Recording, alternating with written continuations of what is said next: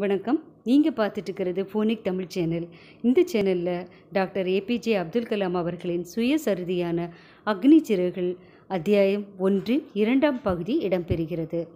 ஒவ்வொரு குழந்தையும் பிறக்கும்போதே சில உள்ளார்ந்த பண்பு பதிவுகளுடன் குணாதிசயங்களுடன் ஒரு குறிப்பிட்ட சமூக பொருளாதார சொந்த பந்த சூழ்நிலையில் பிறக்கிறது. வாழ்க்கை பயணத்தில் அதற்கு பயிற்சி கிடைக்கிறது. குழந்தையிடம் அதிகாரம் செலுத்தும் நபர்களிடமிருந்து அது கற்றுக்கொள்கிறது. நேர்மையும் சுய கட்டுப்பாடும் என் தாய் தந்தை மூலம் எனக்கு கிடைத்த சொத்துக்கள். நல்ல தன்மையில் நம்பிக்கை ஆழமான அன்பு காட்டுதல் என்பதும் அவர்களிடமிருந்தே எனக்கு கிடைத்தது.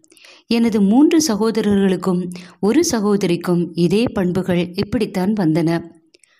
குழந்தை பருவத்தில் என்னிடம் பதிந்த சிறப்பு இயல்புகளுக்கு ஜலாலுதீனும் சம்சுதீனும் முக்கிய காரணமாக இருக்கலாம் என்று நினைக்கிறேன். இவர்களிடம் நெருங்கி பழகி அதிக நேரம் கழித்திருக்கிறேன். இயற்கையாகவே இந்த இருவரிடமும் பொதிந்திருந்த ஞானம் எனக்குள் பெரும் தாக்கத்தை ஏற்படுத்தியது. பின்னாளில் என்னிடம் வெளிப்பட்ட ஆக்க சக்திகளுக்கு அடிப்படை காரணம் இவர்களுடன் குழந்தை பருவத்தில் நான் கொண்டிருந்த நெருக்கமான பந்தம்தான். ராமநாத சாஸ்திரி அரவிந்தன் சிவப்பிரகாசன் இந்த மூவரும் எனது பால்ய காலத்தில் நெருங்கிய சிநேகிதர்கள். இந்த மூன்று பேருமே ஆசார அனுஷ்டானமான இந்து பிராமண குடும்பத்தினர். ராமேஸ்வரம் கோயிலின் தலைமை குருக்களான பக்ஷி லக்ஷ்மண சாஸ்திரி தான் ராமநாத சாஸ்திரியின் அப்பா. எங்களது மாறுபட்ட மதங்களாலும் வளர்ப்பு முறையாலும் எந்த வேறுபாடும் எங்களுக்குள் வந்ததே இல்லை. பிறகு அப்பாவின் தலைமை குருக்கள் பொறுப்பை ராமநாத சாஸ்திரி ஏற்றுக்கொண்டார். பக்தர்களுக்கான போக்குவரத்து வசதிகளை ஏற்பாடு செய்யும் தொழிலில் அரவிந்தன் இறங்கினார். சிவபிரகாசன் தென்னக ரயில்வேயின் கேட்டரிங் ஒப்பந்தக்காரர் ஆனார். வருடா வருடம் நடக்கும் ஸ்ரீ சீதாராம கல்யாண வைபவத்தின் போது தெய்வ விக்கிரகங்களை திருமண மண்டபத்திற்கு கொண்டு செல்ல விசேஷமான மேடை அலங்கரிக்கப்பட்ட படகுகளை ஏற்பாடு செய்வது எங்கள் குடும்பம்தான். எங்கள் வீட்டின் அருகே உள்ள ராம தீர்த்தம் என்ற குளத்தின் மைய பகுதியில் தான் இந்த திருமணம் நடைபெறும். ராமாயணத்தில் இருந்தும் நபிகள் நாயகத்தின் வாழ்க்கையிலிருந்தும் பல சம்பவங்களை கதைகளாக அம்மாவும் பாட்டியும் ராத்திரி படுக்கை நேரத்தில் எங்கள் வீட்டு குழந்தைகளுக்கு சொல்வார்கள். ராமேஸ்வரம் ஆரம்ப பள்ளியில் நான் ஐந்தாம் வகுப்பு படித்து கொண்டிருந்தேன். என்னை முஸ்லீமாக அடையாளம் காட்டும் தொப்பியை போட்டுக்கொண்டுதான் எப்போதும் வகுப்புக்கு வருவேன். முதல் வரிசையில் ராமநாத சாஸ்திரிக்கு பக்கத்தில் தான் என்றுமே உட்கார்ந்திருப்பேன். அவன் பூநூலும் குடுமியுமாக இருப்பான். ஒரு நாள் புதிய ஆசிரியர் ஒருவர் எங்கள் வகுப்புக்கு வந்தார். ஒரு இந்து குருக்களின் மகன் பக்கத்தில் முஸ்லிம் பையன் உட்கார்ந்திருப்பதை அவரால் சகித்துக்கொள்ள முடியவில்லை. அவர் நிர்ணயித்த சமூக அந்தஸ்தின்படி என்னை கடைசி பெஞ்சில் உட்கார சொன்னார். எனக்கும் ராமநாத சாஸ்திரிக்கும் துக்கத்தை அடக்க முடியவில்லை. நான் கடைசி பெஞ்சுக்கு போனதும் அவன் கண்ணீர் விட்டு அழுத காட்சி என் மனதை விட்டு மறையவில்லை. பள்ளிக்கூடம் முடிந்து வீட்டிற்கு போனதும் அப்பாவிடம் இந்த சம்பவத்தை பற்றி சொன்னேன். ராமநாத சாஸ்திரியும் அவன் அப்பாவிடம் சொல்லிவிட்டான்.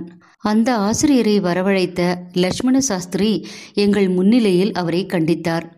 கள்ளம் கபடம் தெரியாத பச்சை குழந்தைகள் மனதில் இப்படி சமூக ஏற்றத்தாழ்வு சமய துவேஷம் என்ற நஞ்சை புகுத்தக்கூடாது என்று எச்சரித்தார். ஒன்று மன்னிப்பு கேட்க வேண்டும் இல்லாவிட்டால் தீவை விட்டு போய்விட வேண்டும் என்று அந்த ஆசிரியரிடம் அவர் கடுமையாக கூறினார். லக்ஷ்மண சாஸ்திரியின் உறுதியான அணுகுமுறையால் அந்த இளம் ஆசிரியர் வருத்தம் தெரிவித்ததோடு மட்டுமல்லாமல் தன்னையே மாற்றிக்கொண்டார். ராமேஸ்வரத்தில் வாழ்ந்த சிறிய சமுதாயமோ தனித்தனி தீவுகளாக பிளவுபட்டு கிடந்தன. ஒவ்வொரு குழுவினரும் தத்தம் நடைமுறை பழக்க வழக்கங்களில் விடாப்பிடியாக இருந்தனர். ஆனாலும் எனது விஞ்ஞான ஆசிரியர் சிவ சுப்பிரமணிய ஐயர் வித்தியாசமானவர். ஆசாரமான பிராமணராக இருந்தும் புரட்சிகரமான சிந்தனை கொண்டவர். அவரது மனைவியோ பழைய நடைமுறைகளை மாற்றிக்கொள்ள விரும்பாதவர். பலதரப்பட்ட பின்னணி கொண்ட மக்களும் இரண்டர கலந்து இணக்கமாக வாழ வேண்டும் என்பதற்காக சமூக தடைகளை தகர்ப்பதில் தீவிரமாக ஈடுபட்டார் சிவசுப்பிரமணிய ஐயர். என்னுடன் நீண்ட நேரம் செலவழிப்பார். பெரிய நகரங்களில் உள்ள மெத்த படித்தவர்களுக்கு சமமாக நீ உயர வேண்டும் கலாம் என்று பிரியமுடன் அவர் சொல்வார். ஒரு நாள் அவர் வீட்டில் சாப்பிடுவதற்கு என்னை அழைத்திருந்தார். அனுஷ்டானமான சுத்தபத்தம் நிறைந்த சமையலறையில் ஒரு முஸ்லிம் பையனை சாப்பிட வைப்பது என்பது அவரது மனைவியை அதிர்ச்சியடையச் செய்தது. எனக்கு உணவு பரிமாற அந்த அம்மையார் மறுத்துவிட்டார். சிவசுப்பிரமணிய ஐயர் எதுவுமே நடக்காதது போல் சாதாரணமாக இருந்தார். மனைவியிடம் கோபப்படவும் இல்லை. தமது கையால் அவரே எனக்கு உணவு பரிமாறினார். என் பக்கத்தில் உட்கார்ந்து கொண்டு அவரும் சாப்பிட்டார். அவரது மனைவி சமையலறை கதவுக்கு பின்னால் நின்று கொண்டு எங்களை கவனித்து கொண்டிருந்தார். நான் சாதம் சாப்பிட்டது தண்ணீர் குடித்தது அல்லது சாப்பிட்ட பிறகு தரையை சுத்தப்படுத்தியதில் எல்லாம் ஏதாவது வித்தியாசத்தை அவர் பார்த்திருப்பாரோ என்று நான் வியப்படைந்தேன். நான் அங்கிருந்து புறப்பட்ட போது அடுத்த வார கடைசியில் மறுபடியும் தம்மோடு சாப்பிட வருமாறு சுப்பிரமணிய ஐயர் என்னை அழைத்தார். நான் தயங்கினேன். இதை கவனித்த அவர் இதற்கெல்லாம் மனம் தளரக்கூடாது என்றார். இந்த அமைப்பு முறையை மாற்ற வேண்டும் என்று தீர்மானித்து விட்ட பிறகு இப்படிப்பட்ட பிரச்சனைகளை எல்லாம் எதிர்கொண்டாக வேண்டும் என்று சொன்னார். அடுத்த வாரம் அவர் வீட்டிற்கு சென்றபோது அவரின் மனைவியே என்னை சமையல் அறைக்கு கூட்டிச் சென்றார். தமது கையாலேயே அந்த அம்மையார் எனக்கு உணவு பரிமாறினார். இரண்டாம் உலக யுத்தம் முடிவடைந்தது. இந்திய சுதந்திரம் நிச்சயமாகிவிட்டது. தங்களுடைய சொந்த இந்தியாவை இந்தியர்களே நிர்மாணிப்பார்கள் என்று காந்திஜி அறைகூவல் பிடித்தார். தேசம் முழுவதிலும் இதுவரை காணாத அளவுக்கு நம்பிக்கை பொங்கியது. மாவட்ட தலைநகரமான ராமநாதபுரத்தில் போய் படிக்க விரும்பினேன். ராமேஸ்வரத்திலிருந்து புறப்பட்டு செல்வதற்கு அப்பாவிடம் அனுமதி கேட்டேன். இதை பற்றி திட்டவட்டமாக யோசித்து முடிவுக்கு வந்திருப்பது போல அப்பா என்னிடம் சொன்னார். அபுல் முன்னேற்றம் காண்பதற்காக நீ இங்கிருந்து புறப்பட வேண்டியிருக்கும் என்பதே எனக்கு தெரியும். ஒரு கூடு கூட இல்லாமல் தன்னந்தனியாக வானவெளியில் நாரை பறக்கவில்லையா? உன்னுடைய மகத்தான ஆசைகள் நிறைந்த இடத்தை அடைவதற்காக நீ பிறந்த இடத்தின் ஏக்கத்தை உதறியே தீர வேண்டும். எங்களுடைய அன்போ அல்லது தேவைகளோ உன்னை கட்டுப்படுத்தி வைக்காது. தயக்கம் காட்டிய என் அம்மாவிடம் கலீல் ஜிப்ரானின் வார்த்தைகளை மேற்கோள் காட்டி ஆறுதல் சொன்னார். உங்களுடைய குழந்தைகள் எல்லாம் உங்களுடைய குழந்தைகள் அல்ல. தமக்காகவே ஏங்கிக் கொண்டிருக்கும் வாழ்க்கையின் வாரிசுகள் அவர்கள். உங்கள் மூலமாக வந்தவர்கள் அவர்கள். ஆனால் உங்களுக்குள் இருந்து வரவில்லை. அவர்களிடம் நீங்கள் உங்களுடைய அன்பை வழங்கலாம். ஆனால் உங்களுடைய சிந்தனைகளை அல்ல தங்களுக்கு என்று சுய சிந்தனை கொண்டவர்கள் அவர்கள். என்னையும் என் மூன்று சகோதரர்களையும் மசூதிக்கு கூட்டிச் சென்ற அப்பா புனித குரானிலிருந்து அல் பாத்திகா ஓதினார். ராமேஸ்வரம் ரயில் நிலையத்தில் என்னை ரயிலேற்றிய போது அப்பா என்னிடம் சொன்னது இதுதான். உன்னுடைய உடலுக்கு இந்த தீவு இடமளித்திருக்கலாம். உன் ஆன்மாவுக்கு அல்ல எதிர்காலம் என்ற வீடுதான் உன் ஆன்மாவின் வசிப்பிடம். ராமேஸ்வரத்தில் இருக்கும் நாங்கள் யாரும் அங்கு வர முடியாது. கனவில் கூட அது நடக்காது. கடவுள் உனக்கு அருள் புரியட்டும் என் செல்வமே. சம்சுதீனும் அகமது ஜலாலுதீனும் என்னுடன் ராமநாதபுரம் வந்து ஸ்வாட்ஸ் உயர்நிலை பள்ளியில் சேர்த்து விட்டார்கள். நான் தங்கியிருப்பதற்கான இடத்தையும் ஏற்பாடு செய்தார்கள். எனக்கு புதிய சூழ்நிலை சரிப்பட்டு வரவில்லை. சுமார் ஐம்பதாயிரம் மக்கள் தொகை கொண்ட செழிப்பான நகரமாக விளங்கிய ராமநாதபுரத்தில் வேற்றுமை மனப்பான்மை நிலவியது. ராமேஸ்வரத்தின் நல்லிணக்கத்தையும் நல்லுறவையும் அங்கு காண முடியவில்லை. வீட்டு நினைப்பில் ஏங்கினேன்.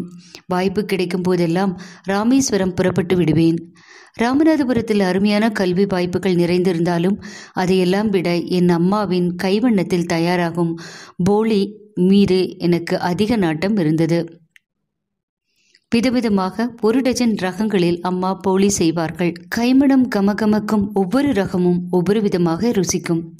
வீட்டு இயக்கம் என்னை வாட்டினாலும் புதிய சூழ்நிலைக்கு ஏற்ப என்னை மாற்றிக்கொள்ள வேண்டும் என்று திட்டவட்டமாக முடிவு செய்தேன். மூல காரணம் என் அப்பா. எனது வெற்றியில் அசாத்திய நம்பிக்கை அவருக்கு. நான் ஒரு கலெக்டராக உருவாகி கொண்டிருக்கிறேன் என்று கனவு கொண்டிருந்தார் அப்பா.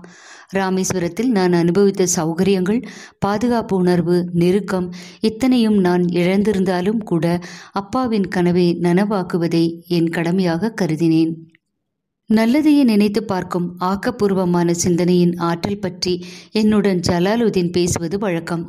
வீட்டு இயக்கம் வந்தாலோ அல்லது விரக்தி அடைந்தாலோ அந்த வார்த்தைகளை நினைவுபடுத்திக் கொள்வேன்.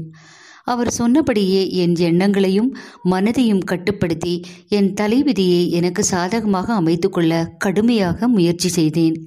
ஆனால் என் தலைவிதி என்னை மறுபடியும் ராமேஸ்வரம் கொண்டு வந்து சேர்க்கவில்லை என்பதுதான் வேடிக்கை. மாறாக என் குழந்தை பருவம் அரும்பிய பூமியிலிருந்து என்னை வெகு தூரத்திற்கு அது அழைத்துச் சென்றது.